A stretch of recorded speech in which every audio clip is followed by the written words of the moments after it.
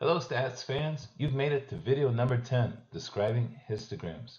Uh, in this video we're going to describe uh, or learn how to describe distributions of quantitative variables uh, when they're given in a histogram and the same kind of descriptions apply when you're given a box plot or dot plot which we'll be studying soon. Then we're going to review how to create a histogram on your calculator and go through an example of that. Let's go ahead and get started.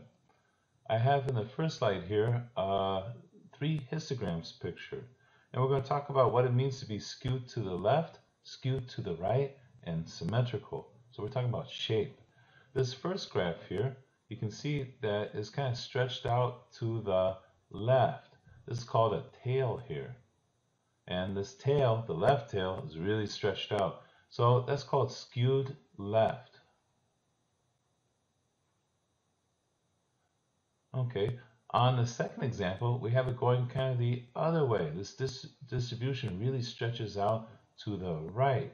So the direction in which it's kind of stretched out, we call that skewed, and this time skewed to the right. Stretched out to the right. This graph here is called symmetrical. And geometry, for something to be symmetrical, the left side has to be the exact mirror image of the right side. In stats, it doesn't have to be uh, exact. The left side is pretty close to being to the right, uh, same as the right side. So we call that symmetrical. This is kind of the line of symmetry here, and it's pretty close on both sides. So we can describe a distribution as skewed to the left, skewed to the right, or symmetrical. And I want to tell you from uh, up front, some distri distributions are kind of hard to describe, so we do the best we can. Okay, here we go. Here are six examples. And to make things quicker, I'm going to abbreviate a little bit. This uh, uh, first uh, histogram here, fairly symmetrical. It's not perfect on both sides. Like this bar is higher than that bar, but it's fairly close. So describe that as symmetrical. Our second example, it stretches out to the right. If we kind of trace the outline, we can see that there's a long tail here on the right side. So I'm going to abbreviate abbreviate that SR. When you're doing your work though, please write it out skewed to the right. Third example, this graph is uh, symmetrical. Fairly same on both sides. We could draw the outline if you want. There, oops, that's pretty good. Kind of hard to do with this pen, but fairly symmetrical. Uh, our fourth example down here, the gold one, we see that stretched out to the right. So this is called skewed to the right. This graph right here is a little bit different, but it's symmetrical. The left side kind of matches the right side. So I'm going to label it SYM for symmetrical. And our final example is stretched out to the left. This tail on the left is, is continuing on much further than the tail on the right. So this is called skewed to the left. We're going to label it that way.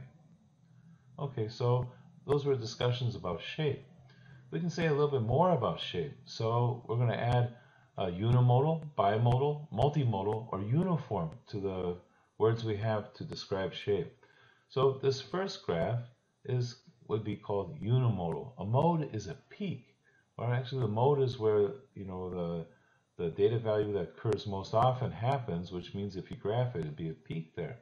So this peak here is kind of where the mode is, and there's only one of them. So this is called unimodal. Uni for one, one mode or one peak, unimodal. The second one, two clear peaks. So this is called bimodal, which you could think of as two peaks. And they should be kind of really clear that they're, they're peaks, not just a little bump uh, along the histogram, but two main peaks. Usually that represents two groups of students. So this graph was highest of students. One group might be males, one group might be females. Right down here, if it has, whoops, if it has uh, more than two modes, we just call it multimodal. So they already have the word there, so I'm just going to circle it. This has three peaks, but this anything beyond two, multimodal. So here's a peak, there's a peak, and there's a peak, three clear peaks. This final example is an example of a uniform distribution. Um, it's not exactly the same, but it's pretty close to being same across all the categories.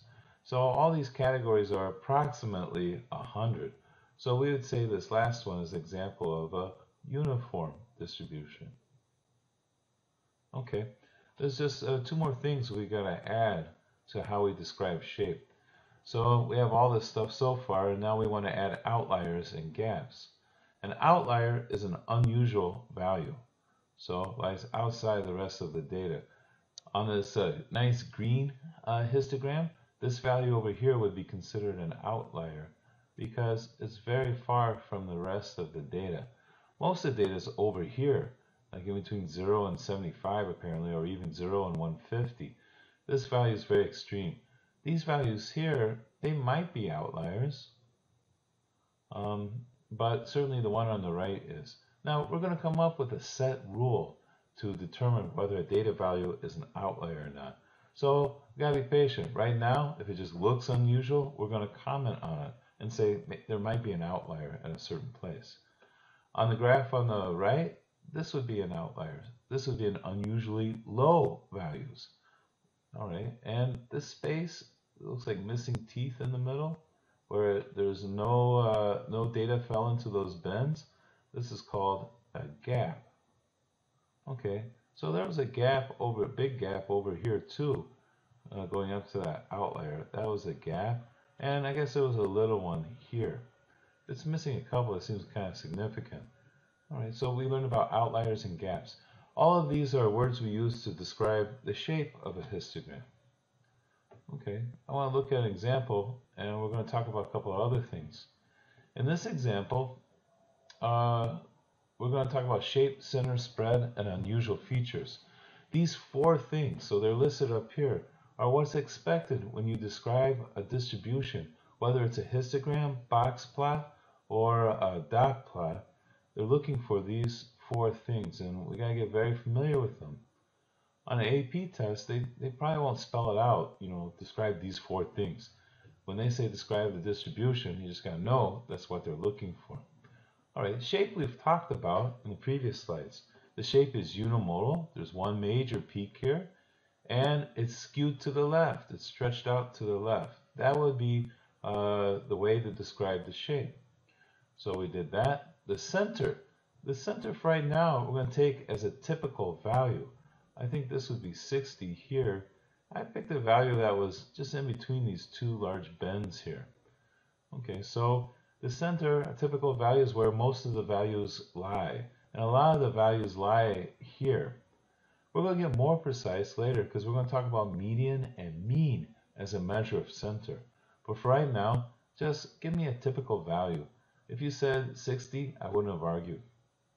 So somewhere, some value where a lot of the data values are. Okay, spread.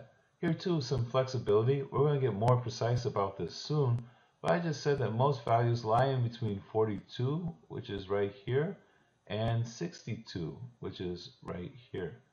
So in between these values right here, I said most of the data lies. And that's kind of true. You could also said 38 to 60 or something like that. But just pick two values where most of the graph lies in between. And that's a measure of how spread out the data is. All right. And finally, we want to talk about are there any gaps or outliers, especially outliers we want to mention. In this graph, I don't see any very unusual values that are off by their own. And I don't see any gaps in the data either. So there, there were no gaps and no outliers. Okay, we're going to practice this a, a few times. We'll be doing this. This graph is uh, clearly bimodal. It has two major peaks. And when it's bimodal, we should describe where the peaks are, uh, approximately where the peaks are at.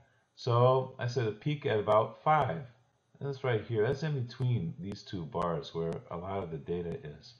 And at about 8, that's about where this peak is right here. So it doesn't have one center. It's bimodal. It has kind of two peaks. So I describe where both of them are. Spread, most of the values are in between 4 and 9. You could have said all of the values are in between 4 and 10. And no gaps or outliers in this graph. So we took care of the description. I have one more example like this. So this, this graph is unimodal. There's one huge peak here at the left. Almost all the data is in between 0 and 12.5. This value right here is 12.5, halfway in between 0 and 25. So it's unimodal, skewed to the right. That's the shape of this graph. The center, I said about 6 or 7. Why about 6 or 7? Because that's the middle of this first peak. A lot of the data is in this lies in this first bin. So I just picked a value in the middle of the bin. Okay, so a lot of data is in between 0 and 12.5, so halfway is about 6 or 7.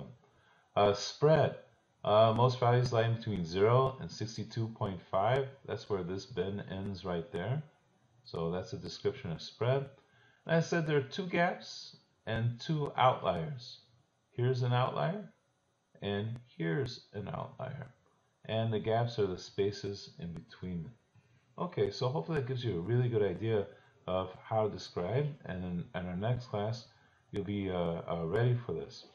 I want to go through uh, a quick example of how to get a histogram from your calculator. So I have my super duper uh, digital calculator here. We're going to enter this uh, group of data into list one and uh, get a histogram for it. So if you need to pause the video, grab your calculator and enter the data and follow along, I'll go ahead and do that. I already have the data entered in this calculator. So remember press stat and edit. You want to clear list one and then enter the data in list one. So to save time, I have all the data listed in L1 already. If you're still working on that, just pause the video.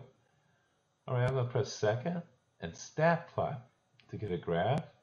And I'm going to press one. We want to use stat plot one. Make sure it's on and make sure you have histogram selected so you can move the cursor down to uh, where it says histogram, although it's probably still on that from class. We're graphing data in list 1, so L1 it should be the X list, and the frequency should be 1. That means each data value is counted once, which is what we want. All right, we're going to get a great first graph by pressing zoom, then 9, and if you hit trace, uh, it's labeled. All right, so this tells me that the first bin goes from 22 to 35.8. And there are two data values in there. And the second bin goes from 35.8 to 49.6. And there are eight values in there.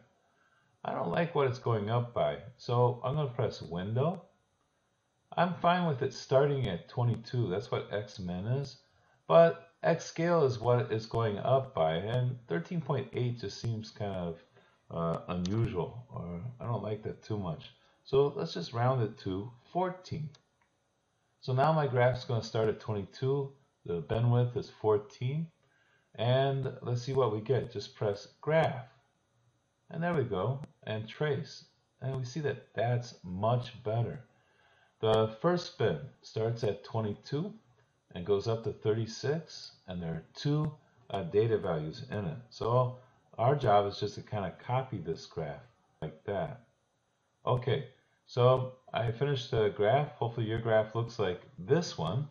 If you got that, that's what you're looking at, that basic shape, you did a great job.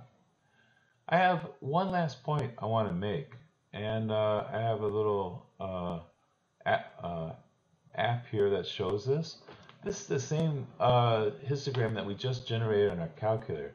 Now, it, uh, the basic shape should look the same. The grid's a little bit different, so if it looks more spread out or chunkier, that's why. But it's the same graph. I want to show you what happens when you change the width of the bins and um, how many bins there are. That really changes the look of the graph a lot. And just so you know that, it's the same data, but if you set up the histogram differently, the look changes. So if we use a lot of bins, the graph gets very jagged, kind of like you can see here. This is too jagged. This wouldn't be a good histogram. If we go to the other extreme and don't use enough bins, we get these really fat bars, and it's kind of hard to tell precisely where the peak is and what's happening in the graph. So we want something kind of in the middle, which is what our calculator gave us. So what I want you to do in your journal is describe these two uh, distributions. Make sure you comment on the shape, center, spread, and unusual values for both. Good luck. Take care.